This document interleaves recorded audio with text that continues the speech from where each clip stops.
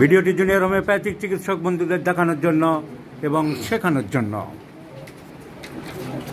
বিয়াল্লিশ বছর বয়স্ক একজন ভদ্রলোক, স্কুলের গানের শিক্ষক। আজকাল স্কুলেও গানের শিক্ষক অ্যাপয়েন্টমেন্ট দেওয়া হয়, অনেকে জানে। উনি সংগীত শিক্ষক।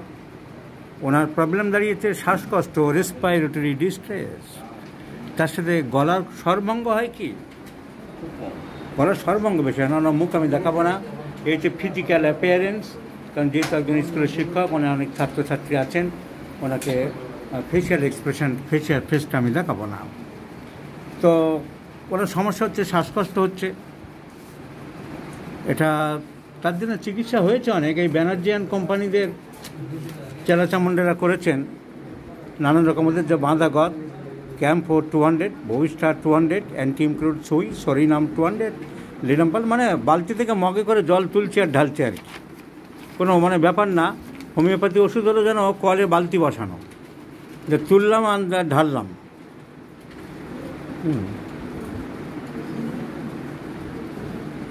Ashwagandha mother medorrhinum two hundred Causticum two hundred মানে এদেরকে জানোয়ার বললেও কম বলা হয় আর কি।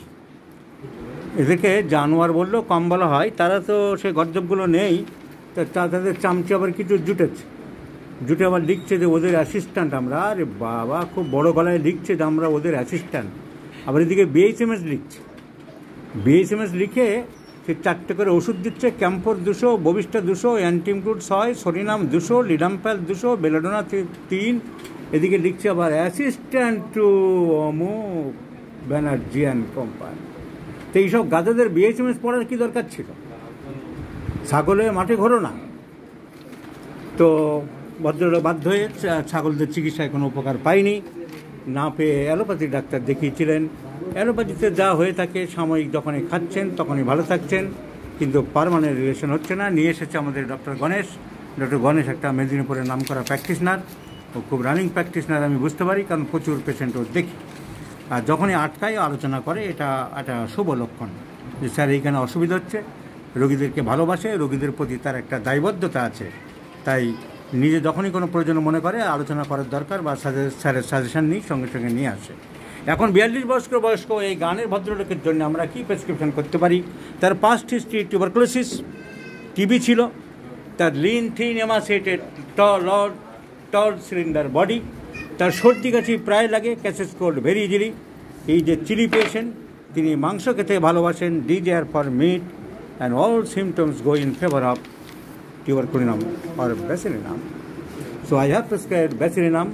Tuberculinum যেহেতু হ্যাপকো বানায় না তো bacillinum is the another form of tuberculinum. Nothing difference between the two medicines, my friends.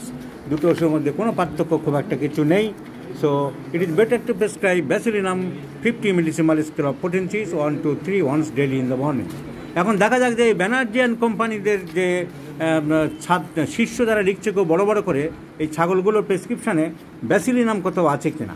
যার বংশে টিবি ছিল, যার শীত বেশি, যে সর্দি কাশিতে প্রায় ভাঙে, ব্যাসিলিনাম এরা শোনেনি, বাবার জীবনে শোনেনি তা লিখবে থেকে তো bacillinum is the choice of medicine my friends এই সংগীত শিক্ষক, আপনাকে আরোগ্যের জন্য সম্ভব চেষ্টা করছি।